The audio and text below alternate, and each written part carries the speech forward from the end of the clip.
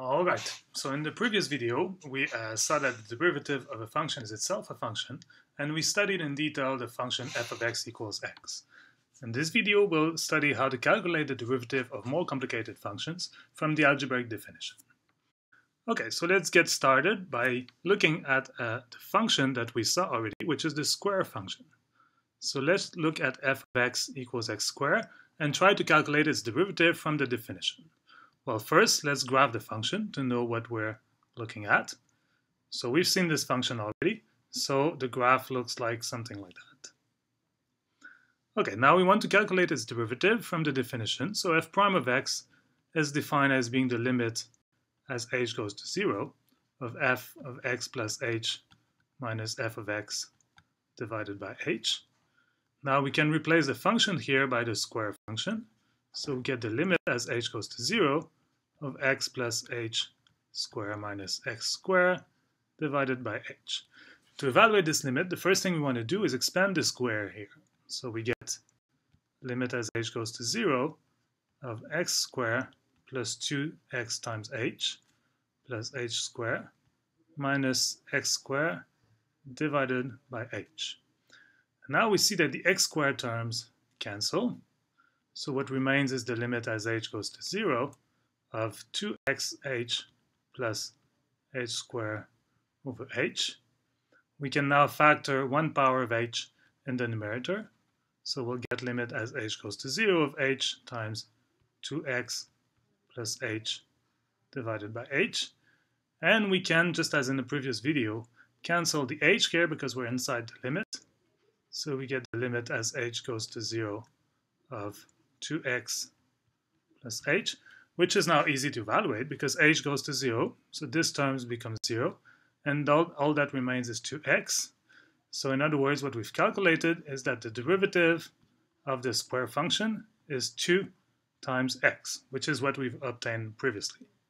Now the graph of that function is something like that, which is indeed consistent with the geometric interpretation of the derivative as giving the slope of the tangent line of the original graph. Okay, let's do a more complicated example. Let's calculate the derivative of the square root function. So we take f of x to be equal to the square root of x. Now first we should notice that this the domain of that function is restricted. So the square root only makes sense uh, if x is positive. So the domain of the square root function here is x greater or equal to 0. Now what does that function look like? Well, its graph will be something like that, which we see is only well defined for x positive, greater or equal to 0. Okay, so we now calculate the derivative.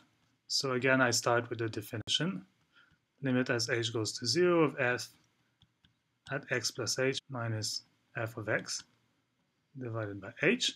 I replace the function by the square root function. So I get the limit as h goes to 0, square root x plus h minus square root of x divided by h. Now to evaluate this limit, I need to transform it because I'm dividing by h here.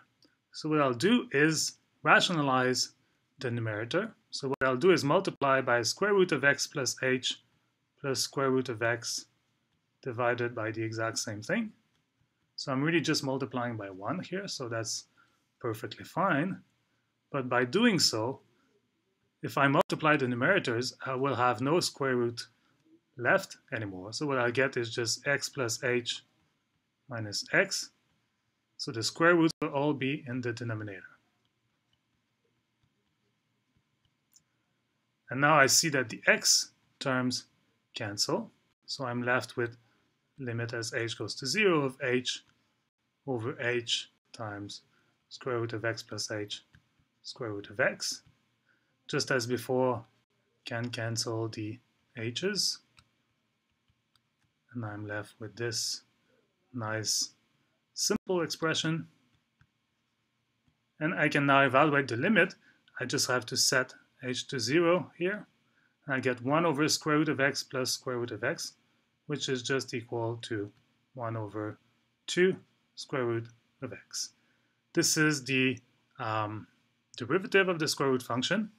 Its graph is something like this, which you can convince yourself is consistent with the interpretation of the derivative as the slope of the tangent line. Now there's something important to note here, which is that the domain of f prime of x is actually slightly smaller than the domain of f x. Indeed, the derivative here is not well defined for x equals to 0, so the domain is for x strictly, strictly greater than 0. Now, why is that so? Uh, well, it makes sense from the picture, right? Because any positive x here, the derivative will calculate the slope of the tangent line. But if I go to x equals to 0, well, this is the endpoint. So the tangent line is not really well defined here. And even if you wanted to define it as some sort of limit, you would end up with a tangent line which would be vertical, whose slope would be infinity. So the derivative here is not well defined, the tangent line is not well defined, which is consistent with the fact that the derivative is not well defined at x equals to 0. Okay, so now what we've seen is the following. So we started with the function f of x equals to x, which I can write as x to the exponent 1. And we calculate its derivative to be the function 1, which I could write as x to the 0. Then we studied the function x squared, calculated its derivative to be 2x or 2x to the exponent 1. I could have done the function 1 over x squared in exactly the same way, which is the function x to the minus 2. What I would have had is its derivative to be minus 2 times x to the minus 3. That's a good exercise to work out this case by yourself.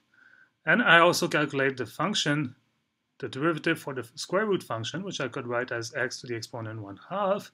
And what I calculated is that the derivative is 1 over 2 square root of x, which is the same as 1 over 2 x to the minus 1 half. So let me end this video with a little question for you. Suppose that I take a function as being x to the r for an arbitrary exponent r here. By looking at the four previous cases, could you actually figure out what the derivative should be? Just find a pattern here and try to figure out what the derivative should be for an arbitrary x to the r. It's a good question, isn't it? Well, we'll see what the answer is in uh, further upcoming videos.